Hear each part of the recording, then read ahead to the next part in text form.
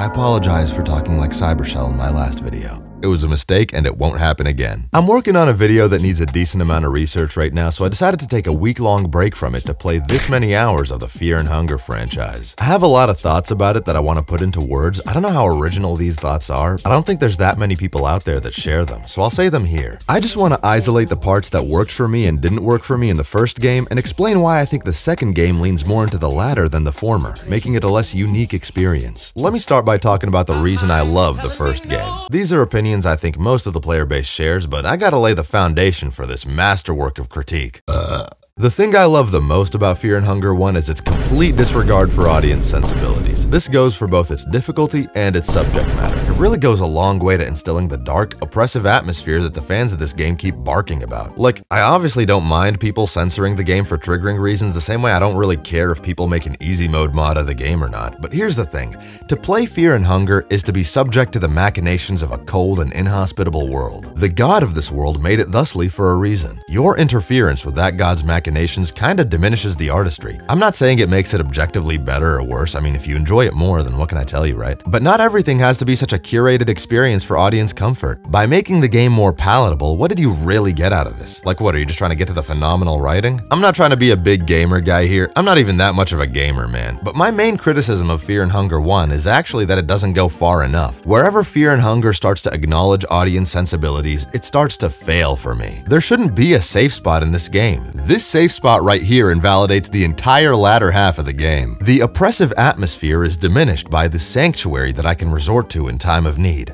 And that's bad, because in Fear and Hunger, the oppressive atmosphere is what the developer should be trying to maximize. That was the main draw. That's the reason we're all here. A safe spot gives you hope. It gives a reprieve. It gives you things that I think this game would be better without. Fear and Hunger is at its best when it's mauling you with a hammer without missing a beat, and the whole latter half of the game is just missed beats for me. On a whole though, everything from the dire sound design to the bleak RPG Maker graphics to the kind of buggy and broken gameplay to the fact that you can get raped by some of the disgusting enemies in this game, it all combines to make an experience totally unique. No one else is doing it like this. Listen, I love Dark Souls, and I definitely think it's a better designed game than Fear and Hunger, but Fear and Hunger has the vibe that I was hoping for when I first bought Dark Souls. This game really instilled instilled that sense of hopelessness in me. I was afraid around every corner, not just of losing my progress, but of what the fuck these enemies would do to me, which is why I was so disappointed by Fear and Hunger 2. I mean, listen, I like the game. I like it just fine. I played this many hours of it. I'll probably play more. It's a lot bigger, it's a lot more ambitious, you got twice the number of playable characters, you got a gigantic map, you got tons of puzzles, tons of dialogue, tons of lore. It's a very admirable effort, and all of it combines to create a game that feels less like a sequel to Fear and Hunger and more like an installment in Resident Evil or Silent Hill. It fails to scratch the same itch the first game did. Let me start with the first thing, the lack of sexual violence. Listen, I know this is a weird thing to complain about, but it's fear and hunger, man. That's one of the things you're supposed to fear. The creator of this world is supposed to have so little regard for your well-being that they can just throw that shit at you without blinking. The sequel has comparatively little of that, and coupled with a lack of claustrophobia, the vast and open map, the brighter color design, it all combined for a more palatable experience. This was a more standard game. The creator had so much regard for audience sensibilities with this one that so many of the unique and cool ideas from the first one kinda got washed away. The only thing that keeps me playing Fear and Hunger 2 is that I just kinda like the characters, but even then, I'm always thinking that they could be utilized better. More on that in a bit. Now this is obviously just personal preference, but I hate puzzle games. They're my least favorite part of any game, and to this day, I can't understand why so many horror games are full of them. The worst part of the first game was the mannequin puzzle. The worst part of the second game are the 25 million puzzles the developer put in it, all of which are worse than the mannequin puzzle. I feel nothing from this map. Being made to walk back and forth through its corridors makes me want to close the game not out of frustration or hopelessness or insanity, but out of boredom. The backtracking ends up being tedious, especially when you're running to complete a puzzle you already know the answer to and which you've completed several times. I beat this game multiple times by the way if that shows you anything about how much I still like it. I'm not saying the game shouldn't have any puzzles, but the puzzles that are here just don't add up to a very dark or oppressive atmosphere, which, as I stated earlier, is the thing that I want to maximize with these games. The places I thought were the best were in the rare dimension. That is a place we should have spent more time time in. We should rarefy the whole map. The second worst part of Fear and Hunger 1 was, as I said earlier, the safe spot that completely nullified the threat of the latter half of the game. The sequel has not one, but two safe spots. One of them with this soothing jazz song that plays when you're sitting around in it. Why is the dark dark and oppressive atmosphere game trying to calm my nerves right now. Listen,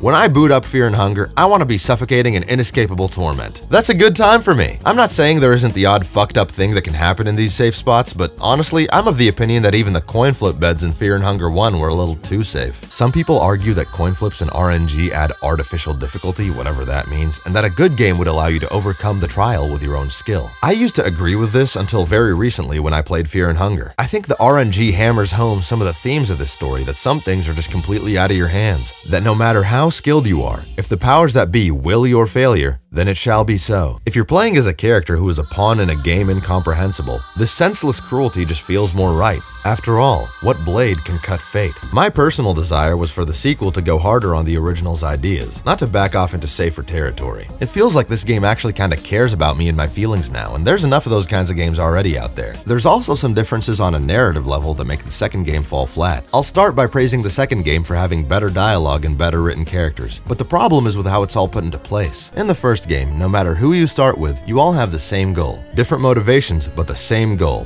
Find Le'Garde. This singular unifying purpose gives you, the player, a target, something to aim for so that you know how hard you fail every time you die. When you become preoccupied with the simple task of just surviving, this is what you have to remind yourself it's all for, what stays in the back of your mind. This is the lightning rod. You're thinking, yeah, I gotta find this guy, but first let me get away from the rape ogre with a two-foot cock that's chasing. Oh, I got captured by the bald guy again. And he's cutting off my arms and my legs and my penis.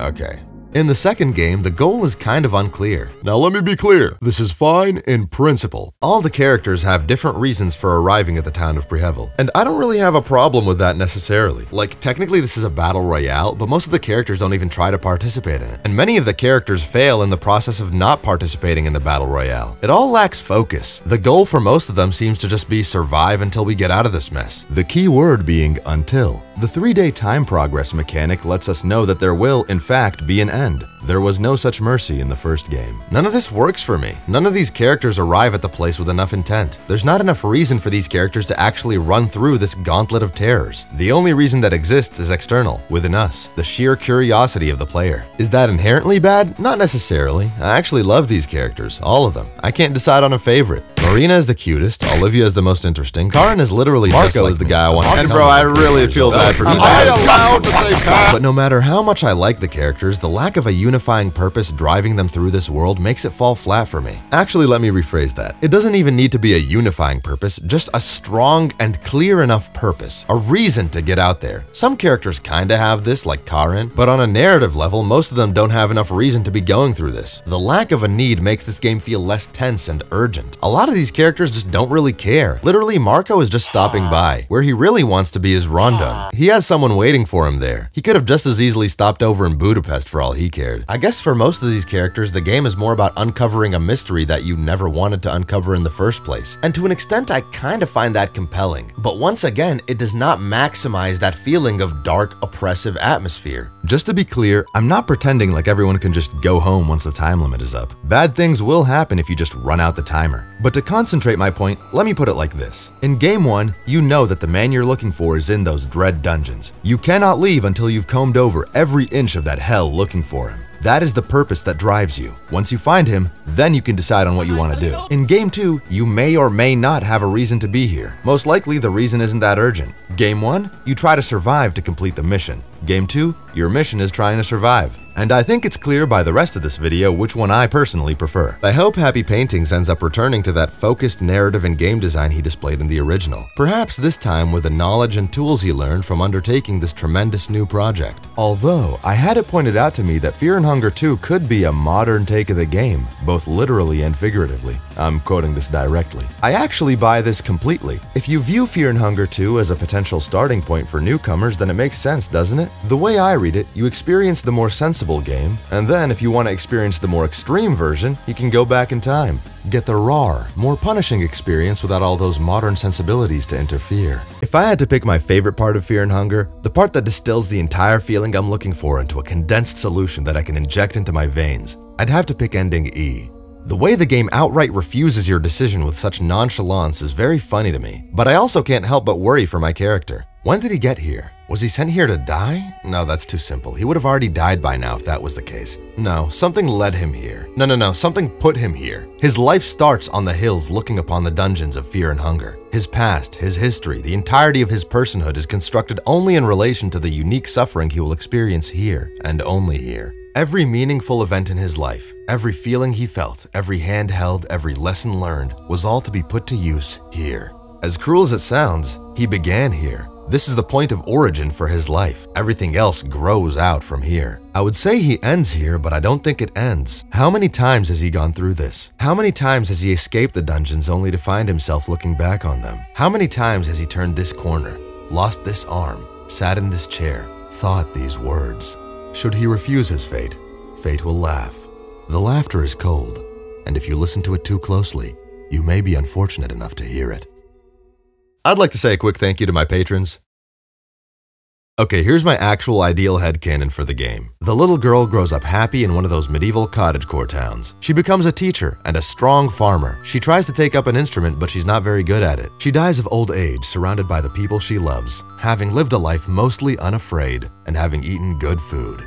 For the second game, I honestly see more chemistry between Karin and Marcoh than I do between her and Daan. Honestly though, Marcoh has chemistry with everybody. I think that they all survive the Termina Festival and go on to start the world's first hype house, and they all become Marcoh's wives. Except Caligura. He gets fear and hungered.